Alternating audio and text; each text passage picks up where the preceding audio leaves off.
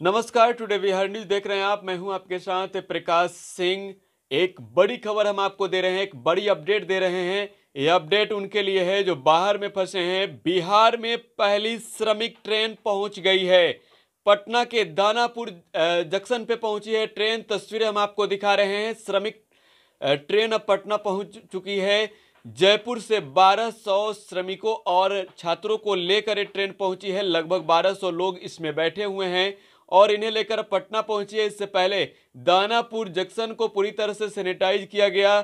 DM Kumar Ravi, SSP Upendra Sharma सहित पूरे ज़िले भर के अधिकारी रहे, वहाँ पे मौजूद और अब वहाँ से उन्हें अलग अलग जगहों पे भेजने की तैयारी की जा रही है।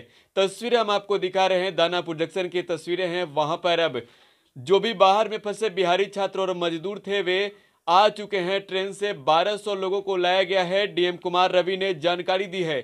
कि अलग अलग इलाकों के वे रहने वाले हैं और उन जिलों के लिए बसें यहाँ पे लगी है, वहाँ से उन्हें भेजा जाएगा। इनकी जो नाम का जो लिस्ट है, इनकी सूची पहले से पटना डीएमएसपी को सौंपा जा चुका है। ये ट्रेन से जैसे ही उतरेंगे, उन्हें भेजने की तैयारी थी जो कि अब इन्हें भेजा जाएगा, स्क्रीनिंग कराई जा रही है। खाने की भी व्यवस्थाएँ की गई है वहाँ पे उन लोगों के लिए। लस्सी, पानी सब कुछ उपलब्ध कराया जाएगा। पटना जिला प्रशासन के द्वारा राज्य सरकार के तमाम वो बड़े अधिकारी हैं, उनकी निगाहें लगातार इस पर बनी हुई है कि किसी भी तरह का चूक ना हो।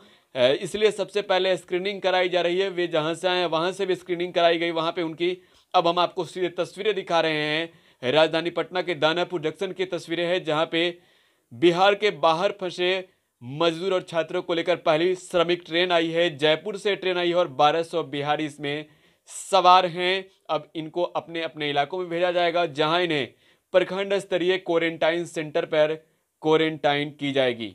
तो सबसे तेज और सबसे पहले हम आपको अपडेट दे रहे हैं, बिहार में अब पहली ट्रेन पहुँच चुकी है, श्रमिक ट्रेन।